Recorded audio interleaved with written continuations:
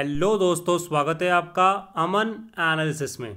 तो दोस्तों, आज का वीडियो आपके लिए बहुत ज़्यादा इंपॉर्टेंट हो सकता है क्योंकि इस वीडियो में मैं नेवी बीटेक एंट्री 2020 के बारे में बताने वाला हूँ कि इसका नोटिफिकेशन कब कब आता है, एलिजिबिलिटी क्या है, यानी कि क्वालिफिकेशन क्या चाहिए, इसमें जो आपका कट ऑफ़ परसेंटेज है, यानी कि कितने नंबर पर आपका कॉल लेटर आता है और ये किस टाइप की एंट्री है क्योंकि इस एंट्री के बारे में ज़्यादा लोगों को पता नहीं है तो बच्चों के दिमाग में बहुत ज़्यादा कन्फ्यूज़न रहता है। तो इस वीडियो में अगर आप वीडियो पूरा एंड तक देखते हो तो पूरा कन्फ्यूज़न आपका दूर हो जाएगा।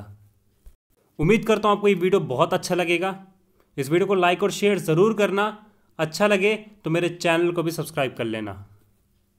सबसे पहले बात करते हैं कि इसका एप्लीकेशन फॉर्म कब कब आता है। तो मैं आपको बता दूँ कि नेवी टेक का एप्लीकेशन फॉर्म साल में दो बार आता है। एक आता है in the month of July और दूसरा आता है in the month of November ठीक है? तो नेवी टेक और टीईएस यानी कि टेक्निकल एंट्री स्कीम को जो जो फॉर्म आते हैं, वो आगे पीछे ही रहते हैं, आसपास ही रहते हैं। एक तरीके से आप मान के चलो कि दोनों का फॉर्म एक साथ भी आता है कभी कभी ठीक है? लेकिन इस बार due to corona virus pandemic जो आपका टीईएस का फॉर्म है, बहुत जल्द आने वाला है। आप ये मान के चलो कि अगस्त में ही आपका फॉर्म आ जाएगा। और दोस्तों, बहुत अच्छा अपॉर्चुनिटी आपके पास टी ई एस एंट्री में डायरेक्ट आपको एस एस बी मिल जाएगी।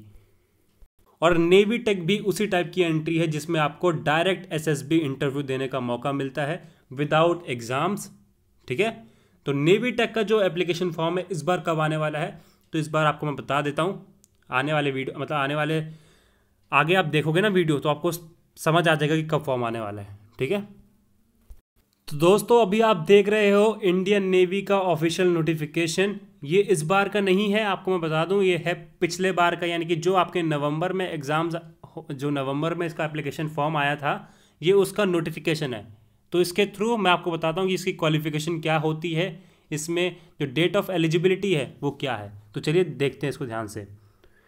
तो सबसे पहले मैं आपको बता दूँ application form is for unmarried male candidates fulfilling the condition of nationality, ठीक है?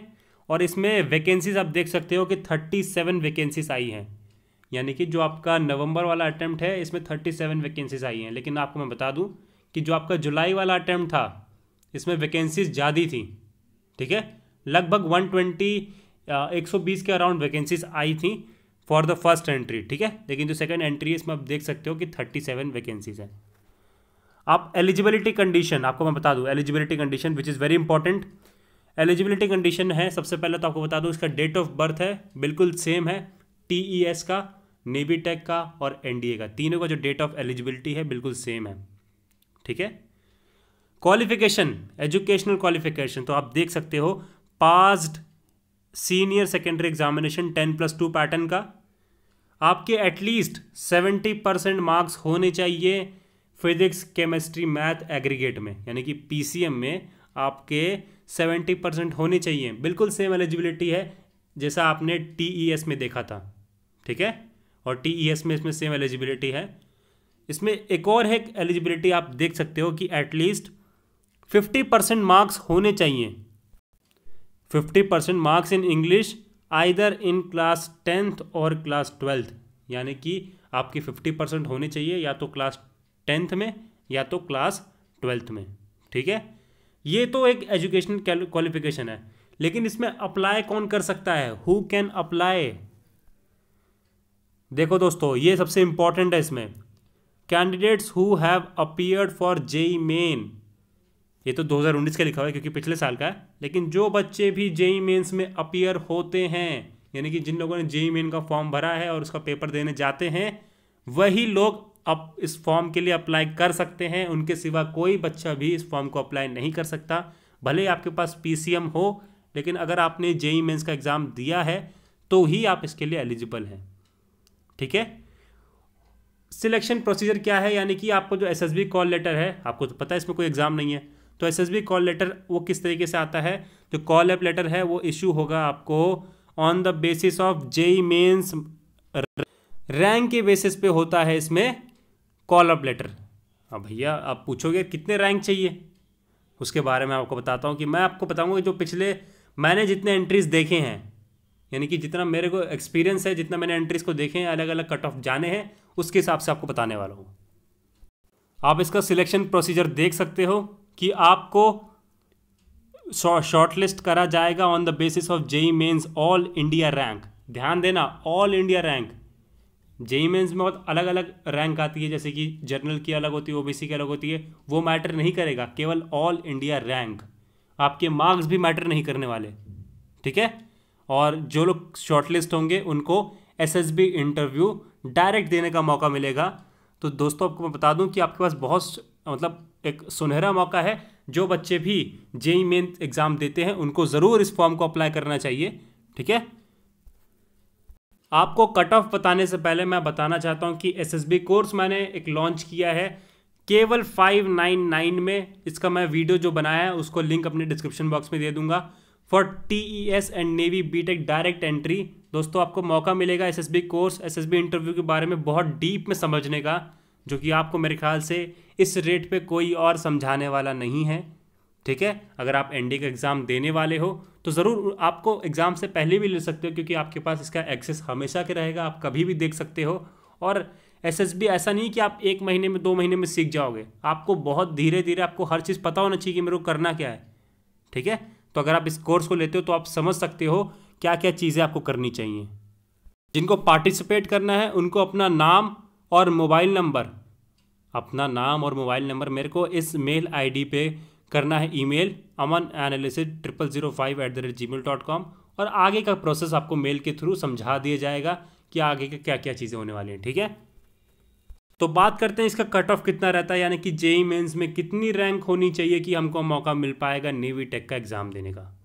तो मैं आपको बता दूँ, जो पिछले बार, यानी कि जो पिछले बार जो एंट्री थी फॉर थर्टी सेवन वैकेंसीज आप इससे एस्टिमेट लगा सकते हो ना, जो पिछले बार जो एंट्री थी उसमें लगभग लगभग जिनके दो लाख रैंक थी, टू लैक्स रैंक, जिसकी दो लाख रैंक थी, उसके दो लाख के नीचे नीचे उनको एसएसबी कॉल लेटर मिला था। इसकी, इस बात की मैं आपको गारंटी दे सकता हूँ कि मिला था उनको। ठीक है? यानी कि आप सोचो कि जेई मेन्स में जिन लोगों की दो लाख रैंक है, वो एलिजिबल थे to give the S S B of navy tech और उससे पहले का आपको बताता हूँ मैं, उससे पहले तो ऐसा था कि इस फॉर्म के बारे में किसी को अवेयरनेस नहीं थी तो इसके जो S S B call letter हैं छः लाख, सात लाख सात लाख रैंक वालों को भी मिली थी इससे पहले। लेकिन अब क्या अवेयरनेस बढ़ गई है?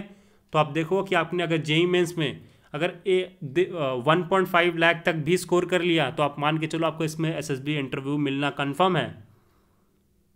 ठीक है? लेकिन ऐसा कुछ नहीं है कि दो लाख होना ही चाहिए। इसमें आपका एलिजिबिलिटी कि आप अपियर होना चाहिए।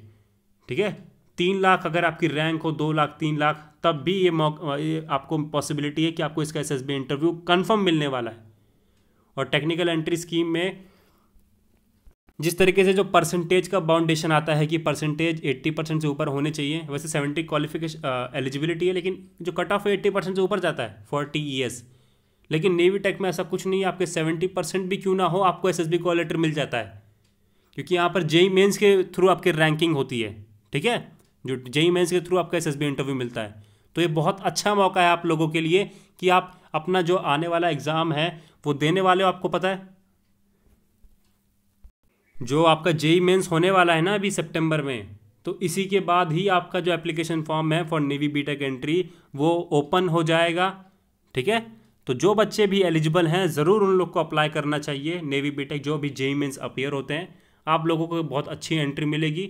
और कोर्स के बारे में आपको मैंने बता दिया है कि आप जल्दी से जल्दी उस कोर्स को अवेल कीजिए, जिससे फ़ायदा आपको ये होगा कि आपको हर चीज़ समझ आ जाएगी एसएसबी इंटरव्यू के बारे में, ठीक है?